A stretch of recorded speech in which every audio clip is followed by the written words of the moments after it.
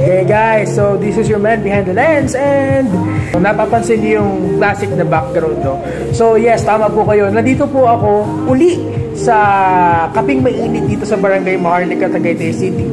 And nag-unwind and nag-relax lang tayo ng konti. Actually, um, nag-film viewing ako ngayon. Pinost ko lang ng konti para mapustro natin yung vlog na ipapapanood ko sa inyo ngayon.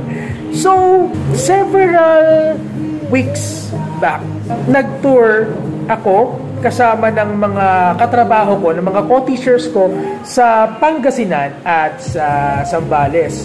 Sorry guys kung hindi uh, hindi ko na siya na-narrate ng ayos kasi busy, ang dami pinuntahan, and at the same time, nag-enjoy kami. So, ninamnam ko yung mga sandali na nililibot namin, yung parehong Zambales at Pangasinan. So, so kung gusto niyo makita yung ganap nung time na yon, siguro yung video na lang ang mag explain sa inyo. Panoorin nyo.